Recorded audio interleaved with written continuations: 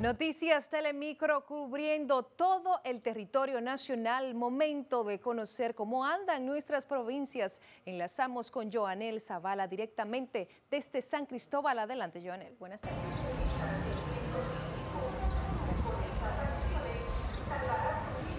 Muchas gracias, Julieta, y buenas tardes.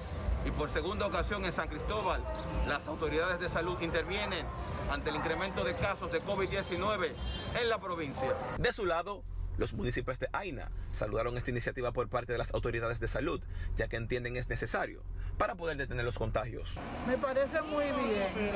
Más antes debían de haberlo hecho. Estoy conforme y estoy contenta por eso porque se ve que están poniendo atención. Y le damos la gracia y veo que está muy bien porque hay muchas personas que están afectadas con el virus.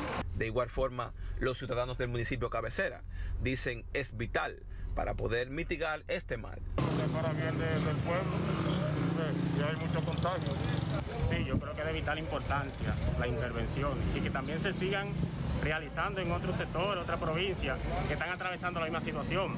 En tanto que la Defensa Civil, dirigida por el general Rafael Carrasco Paulino, encabezó una jornada de entrega de mascarillas, manitas limpias y haciendo un llamado a que respeten el distanciamiento físico.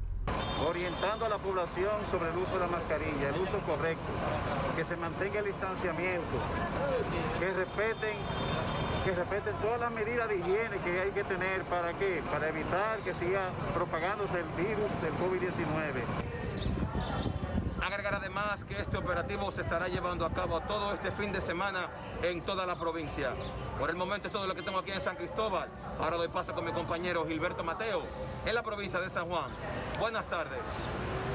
Gracias, Joanel. Buenas tardes. En esta provincia de San Juan, los ciudadanos ya se han ido adaptando a lo que es el uso de la mascarilla. El que no la use, que le pongan una multa no de mil pesos, no de 15 mil pesos, porque cada persona que no caiga una mascarilla puesta es matando a otra persona, porque nadie sabe quién es quién en la calle, ¿entiendes? Muy bien hecho.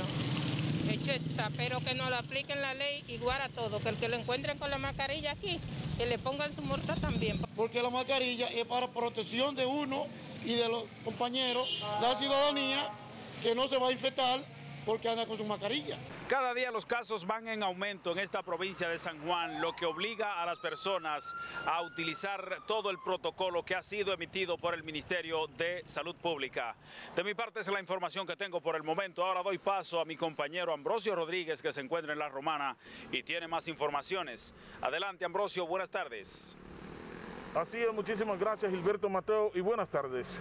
En esta ciudad de La Romana, la encuestadora Consultoría Marketing TC dio a conocer los resultados mediante una rueda de prensa en el que posiciona al Partido Revolucionario Moderno con un 47.1%, así como el PLD 29.6%, mientras que un 12.9% votaría por ninguno y el Partido Reformista Social Cristiano un 2.1%. Con la finalidad de dar a conocer a la opinión pública de la romana y a todos sus ciudadanos la preferencia electoral de los habitantes de dicha provincia. Por ende, estaremos mostrando a través de este estudio las principales simpatías de cada uno de los habitantes de la romana.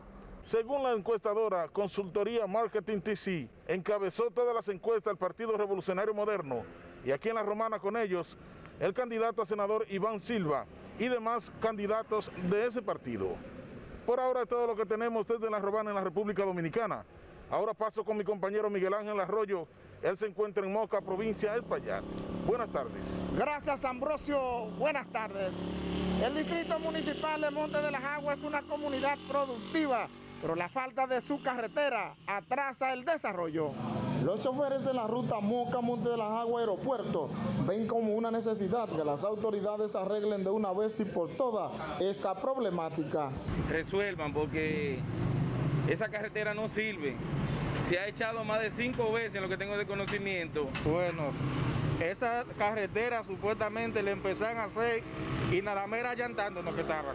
Mientras otros usuarios que transitan por la vía esperan por el arreglo definitivo de la misma. Esta es una comunidad que produce mucho huevo, mucha gallina, muchos vegetales. Es una comunidad muy trabajadora. a ver si la, la arreglan, a ver si le hacen algo, porque uh, está desbaratando el carro. eh. Hasta el momento es la información que manejo desde Espaillat. Ahora damos paso a nuestro compañero Welling Valenzuela, a la provincia de La Vega. Gracias Miguel Arroyo, buenas tardes.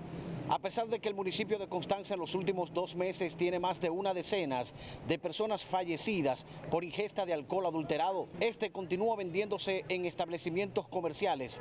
Falleció el joven de 27 años, Juan Alberto Yaugel, en el distrito municipal Tireo. Los vecinos le grabaron un video antes de este morir. Ahorita no puedo ver ya casi. ¿Usted no gana? No, no, no, no. Por otro lado, el Ministerio de Educación de la República Dominicana, desde tempranas horas de hoy, están transportando más de 18 autobuses, cada uno con más de 20 pasajeros, a los padres de los estudiantes del Liceo Manuel Tobías Durán del Cercado, en el municipio de Constanza, hacia Santiago, donde se les hará entrega de computadoras para los estudiantes como parte del programa República Digital. Hemos beneficiado con este programa más de 3.000 estudiantes, alrededor del 26% de la población estudiantil del sector público. Es toda la información que manejo desde el municipio de Constanza en la provincia de La Vega. Retorno contigo, Julieta, a los estudios. Buenas tardes. Muchísimas gracias, Owen, por tu reporte y a nuestros demás corresponsales por estas informaciones de las distintas provincias del país. Con esta cobertura nos vamos a publicidad.